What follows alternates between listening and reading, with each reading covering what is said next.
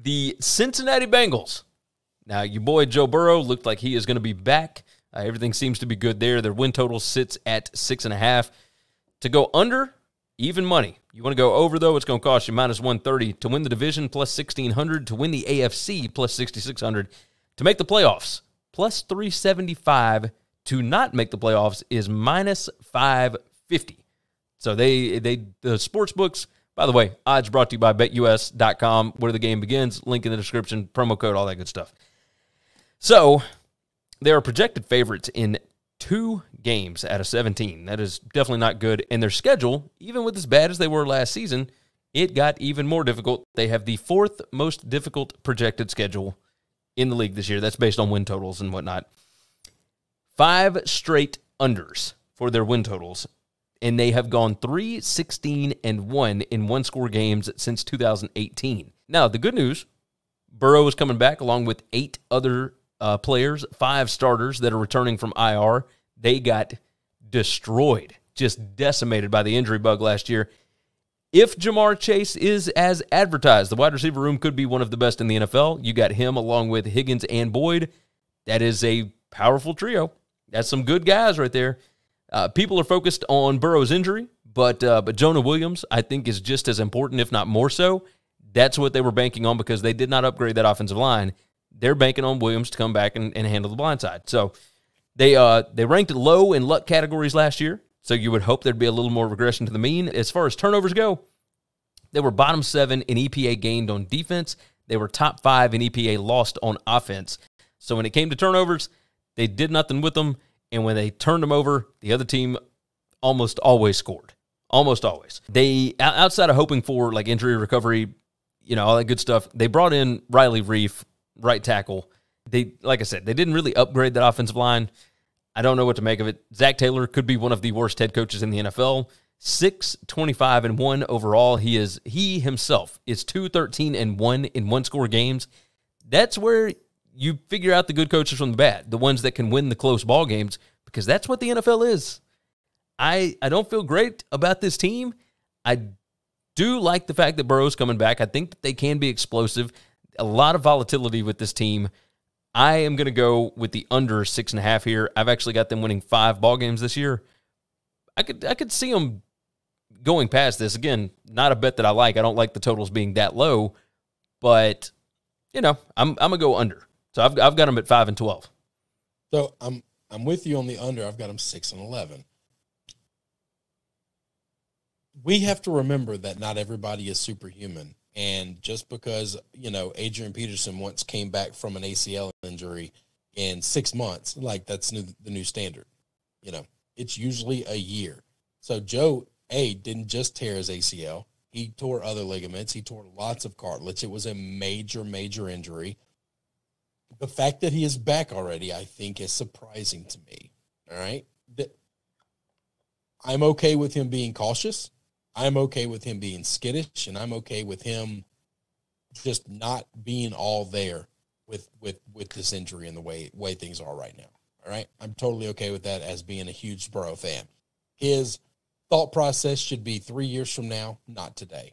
Okay. That's that's it. This team is not ready to win. This defense is really bad. The offensive line is below average bad. They've got really good skill players. They've got really good receivers and they've got a really good running back and they've got a really good quarterback when he's healthy. We'll we'll see can Zac Taylor do anything with that. Zac Taylor is the the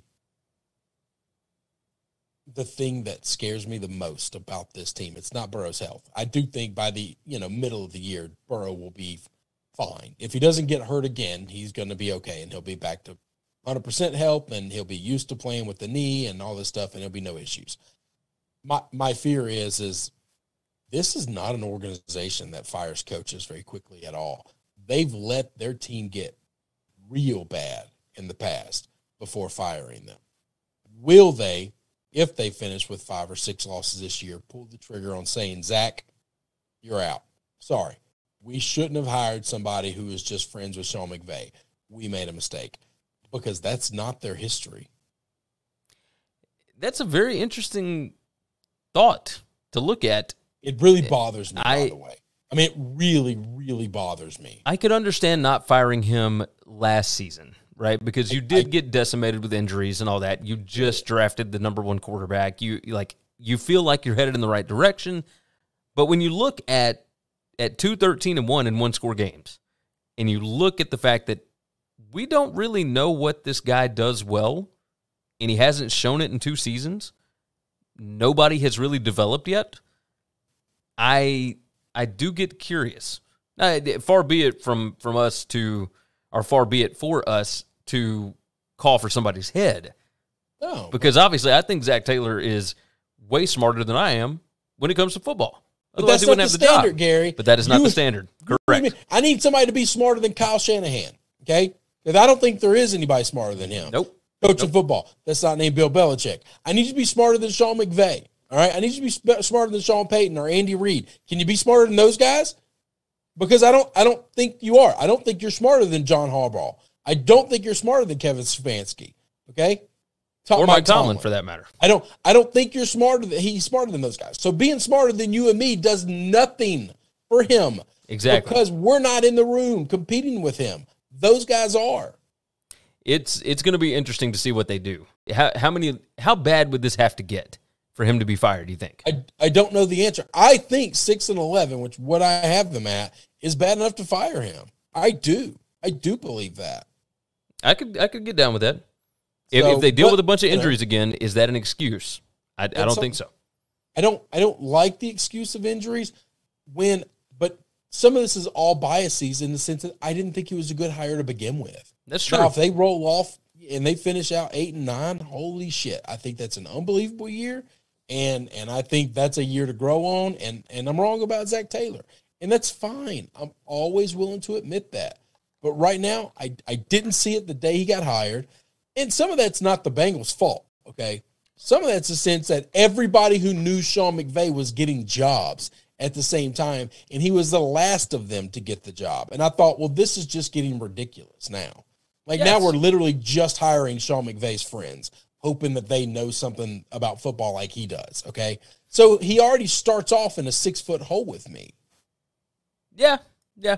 I, I could I could see that. front office that you just can't trust. Uh, yeah, no, it, you're 100 percent right. I mean, it was the same thing with uh, with Marvin. So Yeah. It, it, we, it looks like we're running through the same thing again.